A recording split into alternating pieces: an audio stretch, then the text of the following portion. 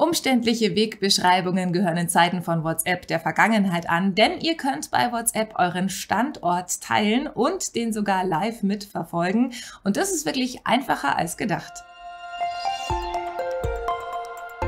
Hallo, ich bin die Simone und ich freue mich, dass ihr wieder dabei seid bei einem neuen Video von Bildner TV, eurem Kanal mit praktischen Tipps zum digitalen Leben. Wenn ihr unterwegs seid und euch mit Freunden treffen wollt oder vielleicht einfach mal wissen wollt, wo sich einer eurer Kontakte aufhält, dann bietet WhatsApp da eine wahnsinnig praktische Funktion und die nennt sich Standort teilen. Ist ganz einfach. Wir schauen uns heute gemeinsam an, wie das funktioniert und es gibt äh, prinzipiell zwei, äh, zwei unterschiedliche Optionen. Es gibt einmal Standort teilen. Das ist dann statisch und das Ganze gibt's dann auch nochmal als Live-Standort teilen. Das bedeutet, man kann äh, den Kontakt sozusagen mitverfolgen, wie er sich bewegt oder wo er sich gerade hinbewegt. Wir schauen uns beides an und wir starten einmal mit dem statischen Standort. Wir machen es am Android-Gerät. Die Funktion gibt's natürlich auch am iPhone und funktioniert im Endeffekt ganz genauso. Ihr müsst euch natürlich erstmal einen äh, Kontakt aussuchen, mit dem ihr euren Standort teilen wollt. Und dazu geht ihr dann einfach in den jeweiligen Chat rein. Also, wir machen das bei der Alexandra und den Standort, den findet ihr hier am Android-Gerät, am Samsung-Gerät haben wir hier dieses Büroklammer-Symbol für Anhänge und dort findet ihr auch den Standort. Also wenn ihr da mal draufklickt, gibt's das hier, diesen grünen Kreis Standort und dann könnt ihr da draufklicken. Jetzt sehen wir hier schon den Live-Standort, damit beschäftigen wir uns nachher nochmal. Ähm, jetzt geht es erstmal um den aktuellen Standort. Dann bekomme ich hier nochmal angezeigt auf 16 Meter genau und wir sehen hier auch schon in der Karte, ähm, wo wir uns da gerade befinden.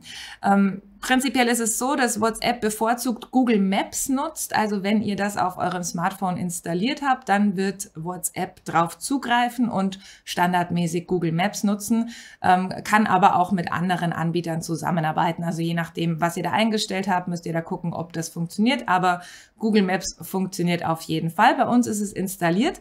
Und noch eine Kleinigkeit, ihr müsst natürlich auf dem Smartphone euren Standort freigeben und auch für WhatsApp freigeben.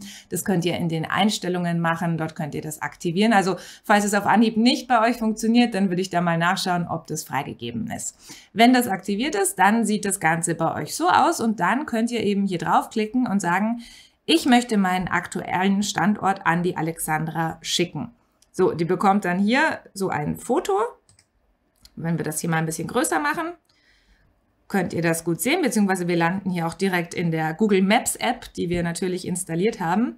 Und äh, dann bekommt ihr hier die Ansicht, wo dieser kleine blaue Punkt ist, beziehungsweise der, der rote Marker, wenn sich das geladen hat. Hier kann ich dann auch nochmal normalerweise reinzoomen. Vielleicht mache ich das schnell hier mit den Fingern. Das funktioniert in der Regel besser. Genau, also ich kann mir jetzt ziemlich genau angucken, wo befinde ich mich und das bekommt die Alexandra eben auch geschickt. Das Ganze ist natürlich super praktisch, wenn ihr zum Beispiel irgendwo unterwegs seid in der Stadt und kennt euch nicht so gut aus und ihr wollt euch ja mal mit jemandem treffen, dann könnt ihr dem einfach euren Standort schicken und sagen, ich stehe hier, damit weißt du, wo ich bin und der kann dann zu dir kommen. Also eine ganz praktische Funktion.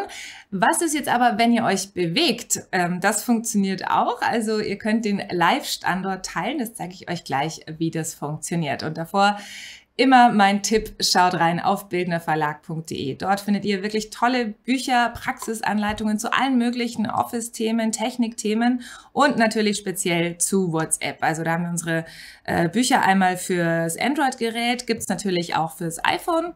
Klickt einfach mal rein, schaut mal durch. Beim Android-Gerät gibt's momentan auch zwei Kapitel gratis zum Runterladen. Da könnt ihr uns einfach eine E-Mail schicken, dann bekommt ihr die Gratis-Kapitel zugeschickt. Lohnt sich auf jeden Fall.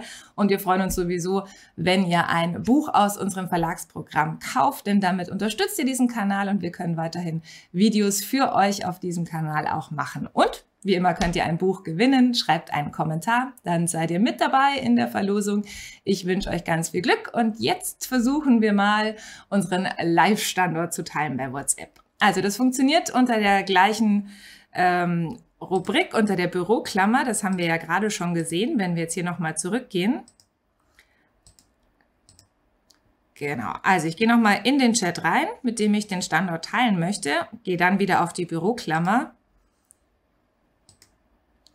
Gehe wieder auf Standort. Und dann gibt's eben hier die Option Live-Standort teilen. Also das ist zum Beispiel wirklich praktisch, wenn ihr unterwegs seid, wenn ihr euch bewegt. Also funktioniert natürlich auch mit dem Auto, wenn ihr sagt, ähm, ich bin auf dem Weg zu dir, hier teile ich dir meinen Standort mit, dann kann der andere sehen, wie weit ist man schon, wann kommt er an. Also das ist eine praktische Sache, da muss man nicht ständig sagen, ich bin jetzt schon hier oder ich bin in zehn Minuten da. Einfach den Live-Standort teilen und dann weiß der andere sofort Bescheid. Dazu müsst ihr dann einfach hier oben draufklicken und dann bekommt ihr nochmal eine kurze Info, genau. Und dann äh, eine ganz interessante Auswahl. Also ihr könnt es äh, festlegen, wie lang dieser Standort geteilt werden soll. Einmal 15 Minuten, eine Stunde oder acht Stunden. Ähm, wenn ihr jetzt sagt, ja, ich bin auf jeden Fall in 10 Minuten da oder so, dann könnt ihr das zum Beispiel auswählen. Könnt dann sogar ähm, noch einen Kommentar hinzufügen. Zum Beispiel bin gleich da und dann könnt ihr das absenden.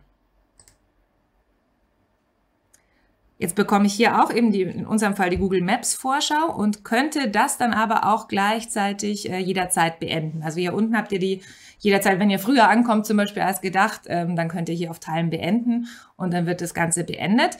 Und ähm, um euch das mal zu zeigen, wie das dann aussieht, wenn sich jemand bewegt, haben wir das vorher schon gefilmt, als ich angekommen bin hier im Studio, damit die Alexandra auch weiß, wann ich hier eintreffe, habe ich ihr gleich mal meinen Live-Standort mitgeteilt und sie konnte dann gucken, wann ich denn hier ankomme. kommen Und es geht sogar noch ein Stückchen besser. Und zwar könnt ihr das auch zu zweit machen. Also wenn ihr zum Beispiel auf dem Volksfest seid oder wenn ich auf dem Volksfest bin und mich mit einer Freundin verabrede, auf einem großen Volksfest, sagen wir mal, dann äh, könnten wir beide gegenseitig unseren Live-Standort teilen und würden dann sehen, ob wir voneinander weglaufen oder aufeinander zulaufen im Idealfall. Und dazu ähm, ja, muss man einfach gegenseitig den Live-Standort teilen. Also äh, in unserem Beispiel jetzt, ich habe ja meinen Standort schon mit der Alexandra geteilt. Das läuft ja hier noch. Und die Alexandra hat jetzt im Gegenzug auch ihren Standort äh, mit mir geteilt, also den Live-Standort. Und dann kann ich hier mal draufklicken und sehe äh, jetzt hier beide. Also wenn beides gegenseitig läuft,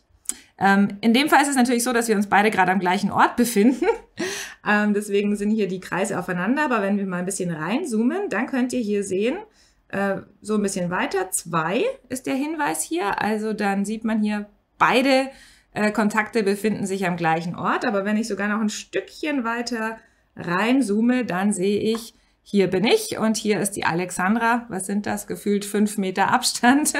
Also äh, das funktioniert ganz gut. Und wie gesagt, wenn ihr euch jetzt eben bewegen würdet, dann würde das hier erfasst werden und ihr könntet gleichzeitig sehen, ich laufe jetzt hier in diese Richtung und mein Kontakt läuft aber gerade in diese Richtung und dann könnt ihr im Idealfall aufeinander zulaufen. Genau, ihr könnt das Ganze natürlich dann auch wieder beenden. Also hier rechts seht ihr schon den Hinweis oder ihr geht nochmal zurück in den Chat und ich kann mein Teilen beenden. Das machen wir jetzt hier einfach nochmal. Genau, und wenn die Alexandra den Live-Standort beendet, dann bekomme ich hier auch die Benachrichtigung Live-Standort beendet. Kann man natürlich auch wieder jederzeit neu aktivieren hier über die Büroklammer. Also ähm, wenn man es nutzt, dann ist es, glaube ich, eine ziemlich praktische und sinnvolle Sache mit dieser Standortteilung, egal ob jetzt statisch oder mit Live-Standort. Ähm, je nach GPS-Empfang funktioniert das wirklich gut und oft wirklich auch auf den Meter genau. Vor allem in Städten ist das manchmal bestimmt eine große Hilfe. So, und wenn ihr wissen wollt, was ihr noch alles mit dem Standort von eurem Smartphone so anfangen könnt, dann schaut auf jeden Fall mal hier rein. Da hat der Andi ein tolles Video gemacht und zwar zu standortbezogenen Erinnerungen. Das ist erstaunlich. Schaut mal rein.